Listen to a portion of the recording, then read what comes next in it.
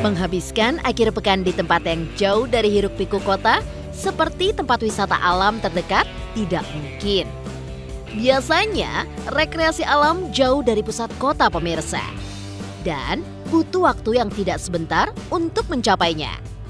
Namun, tidak berlaku untuk air terjun Cibolao ya guys.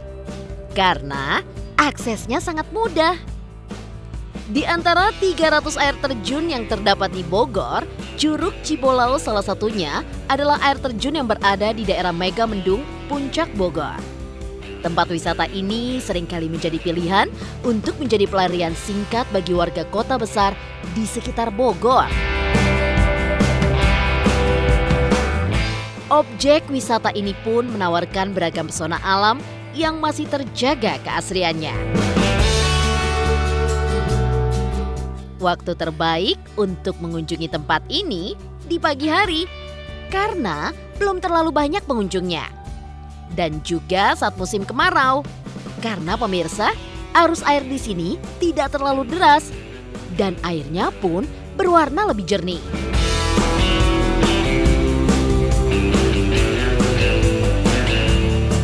Sobat Shock Channel, sebelum kita bahas lebih jauh nih, Jangan lupa untuk like dan subscribe-nya terlebih dahulu ya.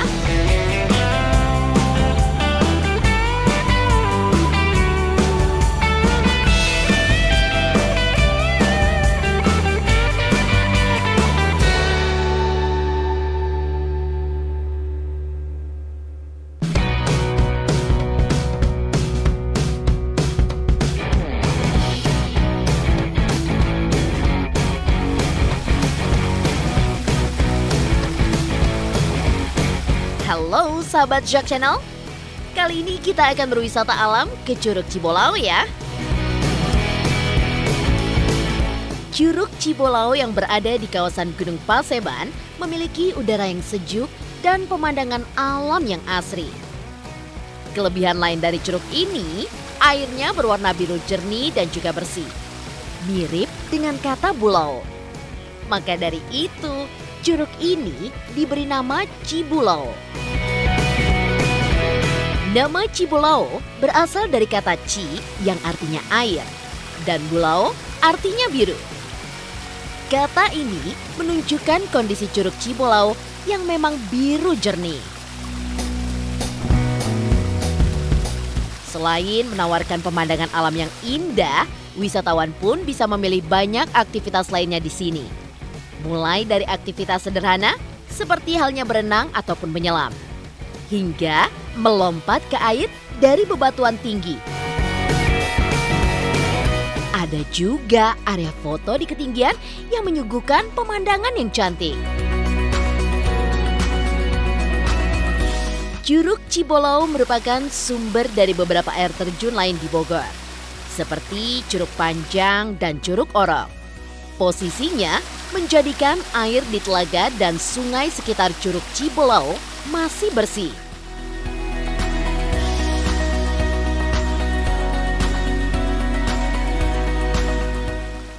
Kondisi ini pun menjadi salah satu daya tarik utama Curug Cibolao. Kedalaman air terjun ini tidak terlalu dalam, jadi kamu bisa bebas berenang.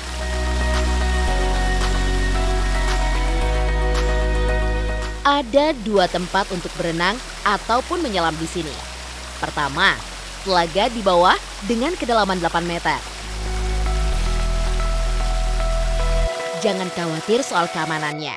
Karena pengunjung bisa menggunakan jaket pelampung yang disewakan oleh pengelola seharga Rp10.000.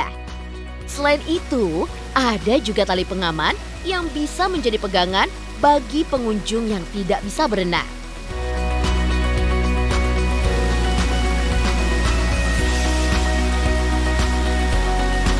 Tempat kedua, telaga yang berada di curug atas. Telaga ini memiliki kedalaman 5 meter dan bisa dijangkau dengan menaiki bebatuan di pinggir curug bawah.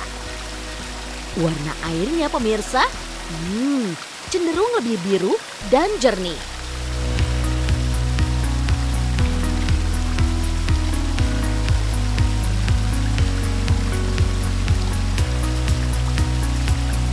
fasilitas yang ada di Curug Cibolao yaitu spot selfie. Jika ingin mengabadikan momen di sini, pengelola setempat pun sudah menyediakan area khusus untuk berfoto. Dan ada juga dek untuk melihat pemandangan sekitar. Untuk tarifnya, dikenakan Rp5.000 per orangnya untuk bisa menikmati fasilitas tersebut. Piknik dan berkemah. Pengunjung juga bisa bermalam di sekitar air terjun dengan area kemah yang cukup luas. Dengan biaya Rp40.000 saja, pengunjung pun juga sudah bisa mendirikan tenda di sini. Ada juga toiletnya. Ada musola. Ada kios makanan dan juga minuman. Terus, ada juga jungle track.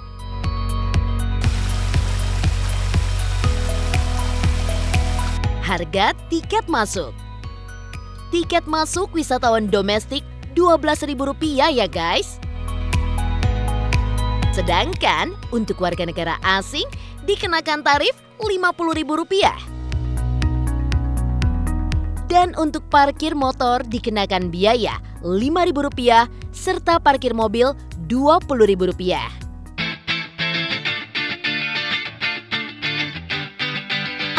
Curug Cibolau Dari Jalan Raya Puncak belok kiri ke jalan masuk Desa Cilembar.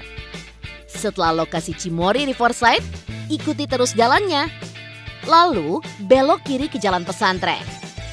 Kondisi jalanannya menanjak dan di beberapa bagian masih berbatu-batu. Sehingga pengunjung yang membawa kendaraan harus berhati-hati. Lokasi Curug Cibolao berada di daerah puncak Kecamatan Megamendung, Kota Bogor, Jawa Barat. Dari Jalan Raya Puncak membutuhkan waktu sekitar 30 menit.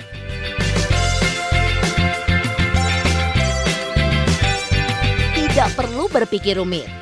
Cukup sederhana saja guys. Tapi membuat hati kita senang, damai, tentram, dan juga bahagia. So, bagaimana nih? Ayo sahabat Jok Channel, kita rasakan segarnya air yang masih asri dan mengalir dari pegunungan. Jadi, bahagia itu sederhana bukan? Nggak perlu jauh-jauh dan juga mewah. Intinya nih, kita ganti suasana dengan refreshing.